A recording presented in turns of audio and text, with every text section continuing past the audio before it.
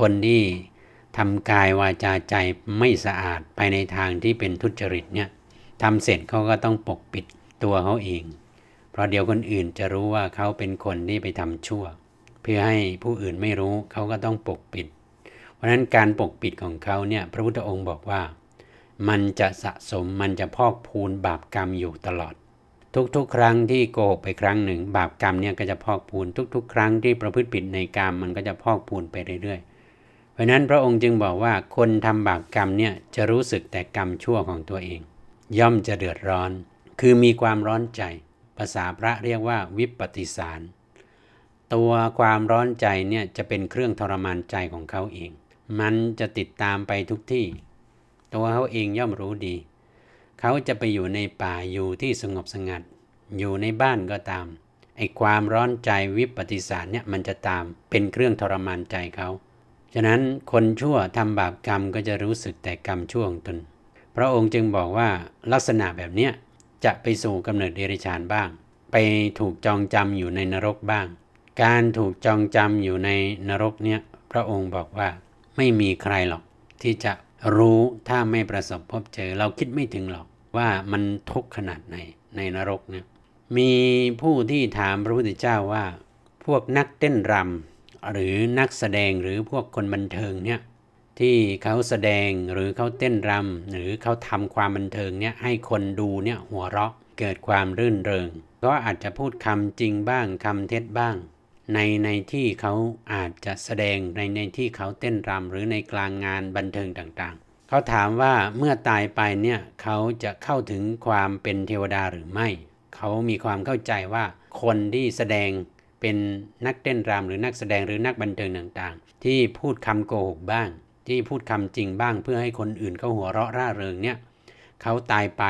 เขาจะไปเกิดเป็นเทวดาร่าเริงใช่หรือไม่ พระพุทธเจ้าท่านตรัสว่า คนเหล่านี้ที่ทำให้คนอื่นหัวเราะด้วยคำจริงบ้างคำเท็จบ้างเนี่ยเขายังไม่ปราศจากราคะ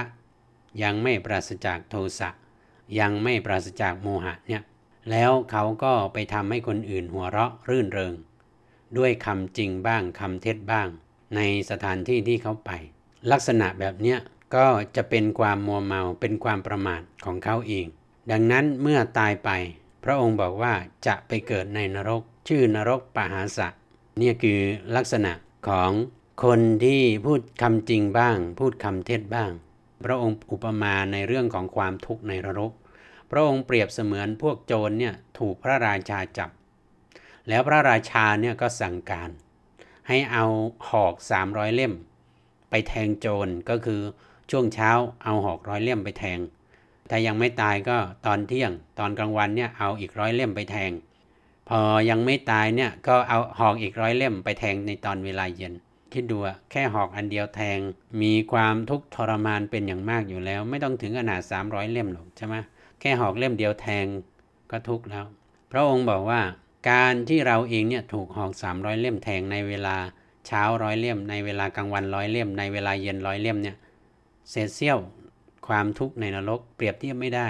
เหมือนที่พระองค์หยิบแผ่นหินมาเท่าฝ่ามือ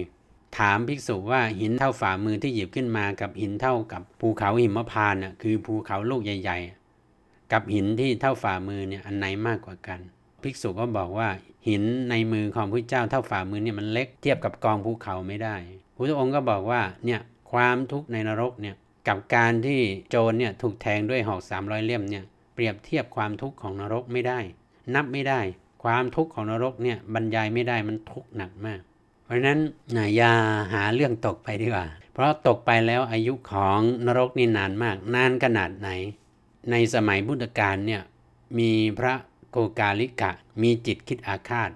มีจิตคิดพยาบาท มีจิตคิดประทุษร้าย พระสารีบุตรกับพระโมคคัลลานะ พระพุทธเจ้าพยายามตรัสห้ามก็ไม่ฟัง พอตกกลางคืน เท้าสามบดีพรมเนี่ยก็มาเข้าเฝ้าพระพุทธเจ้า มาบอกกับพระพุทธเจ้าว่าพระโกกาลิกะเนี่ยมรณภาพ แล้วไปอุบัติในปฐุมนรก ปฐุมนรกคืออายุของนรกที่ลึกที่สุด เพราะด้วยที่พระโกกาลิกะเนี่ยมีจิตคิดอาฆาตพยาบาท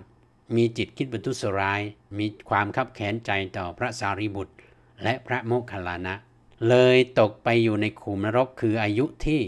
นานที่สุดคือลึกที่สุด อายุนานขนาดไหน ภิกษุทั้งหลายก็มองไม่ออก ภิกษุทั้งหลายก็เลยถามพระพุทธเจ้าว่า อายุในปฐุมนรกเนี่ยนานแค่ไหนพระเจ้าบอกว่าการที่จะนับอายุของนรกเนี่ยปฐุมนรกเนี่ยว่าเท่านี้ปี เท่านี้ร้อยปี เท่านี้พันปี หรือเท่านี้แสนปีเนี่ยไม่สามารถนับได้ พระองค์ก็เลยเปรียบเทียบเสมือนเกวียน ที่บรรทุกงา ที่มีอัตรา 20 ขารี เมื่อผ่านไปทุก 100 ปีเนี่ยก็จะมีบุรุษเนี่ยคือมาเอาเม็ดงาเนี่ยออกไปเม็ดหนึ่งทำอย่างเงี้ยทุกร้อยปีจนเม็ดงาเนี่ยออกจากเกวียนทั้งหมด แต่ว่าหนึ่งอภุทะคืออายุนรกที่ตื้นที่สุดอายุเริ่มแรกของนรกเนี่ยก็ยังไม่หมดไป คือนานมาก แล้วพระพุทธองค์ก็บอกว่า คนที่มีจิตคิดอาฆาตพยาบาทผู้อื่นเนี่ยมีความคิดประทุษร้ายผู้อื่น แล้วตกลงไปในปฐุมนรกเนี่ยลึกขนาดไหน อันเนี้ยพระองค์เริ่มจาก 20อภุทะเลย คือ1อภุทะเนี่ยคือเปรียบเทียบไม่ได้อยู่แล้ว อันเนี้ย20อภุทะเนี่ยเท่ากับ 1 นิรับพุทธะ แล้วก็เพิ่มไปอีก 20 เท่า 20 นิรับพุทธะเนี่ยเท่ากับ 1 อัปภะ20 อัปภะเนี่ยเท่ากับ 1อะหะ 20อะหะเนี่ยเท่ากับ 1อะตตะ แล้วก็ 20อะตตะเนี่ยเท่ากับ 1 กุมุทะ 20 กุมุทะเนี่ยเท่ากับ 1 โสคันธิกะ 20 โสคันธิกะเนี่ยเท่ากับ 1 อุปละกะ 20 อุปละกะเนี่ยเท่ากับ 1 ปุณธริกะ แล้วก็ 20 ปุณธริกะเนี่ยเท่ากับ 1ปทุมนรก เห็นไหมมันลึกมากมันนานมากมัน 20 เท่า 20 เท่า 20 เท่า เอาแค่หนึ่งอภุทธะเนี่ยเริ่มต้นเนี่ยแต่เนี่ยพระเจ้าตรัส 20 อภุทธะเท่ากับหนึ่งนิรับพุทธะแล้ว กว่าจะถึงปฐุมนรกเนี่ยต้องไปอยู่ในนรกเนี่ยนานขนาดไหน ดังนั้นคุณผู้ชมที่มีจิตคิดอาฆาตพยาบาทคิดบรรทุสร้าย คนที่ชอบสาบแช่งที่มีวาจาหยาบพูดหยาบใส่คนอื่น ที่ไปสรรเสริญคนที่ควรนินทา คือไปสรรเสริญคนชั่ว ยกย่องคนชั่ว แล้วไปนินทาคนที่ควรสรรเสริญ ไปนินทาคนดี ไปเอาเรื่องของคนดีเนี่ยไปพูดไม่ดี คือมีจิตคิดบรรทุสร้ายในท่านผู้ที่ปฏิบัติดีปฏิบัติชอบต้องตกนรก หรือพวกที่ชอบติเตียนพระริยะเจ้าติเตียนพระสงฆ์พระพุทธองค์บอกว่าจะเข้าถึงนรกเนี่ยตลอดกาลพระองค์บอกว่าคนที่กายสุจริตวจีสุจริตมโนสุจริตเนี่ยคือเป็นคนที่คิดดีทำดีพูดดี ไม่ฆ่าสัตว์ไม่ลักทรัพย์ไม่ประพฤติผิดในกาม ไม่พูดโกหก ไม่พูดส่อเสียด ไม่พูดคำหยาบ ไม่พูดเพ้อเจ้อ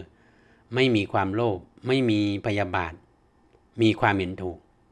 อันนี้ตายไปสามารถที่จะเข้าถึงสุคติโลกสวรรค์ได้ หรือมาเกิดเป็นมนุษย์ได้ แต่เมื่อใดถ้าเราพลาดเราไปทำกายวาจาใจไม่สะอาด กายวาจาใจทุจริต คืออาจจะเผลอไปฆ่าสัตว์ลักทรัพย์ประพฤติผิดในกามเราเองเป็นคนที่พูดโกหก พูดส่อเสียด พูดคำหยาบพูดเพ้อเจ้อ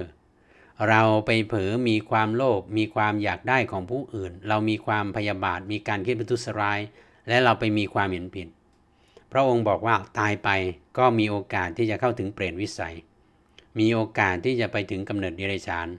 มีโอกาสที่จะไปถึงอบายทุกติวินิบาตนรก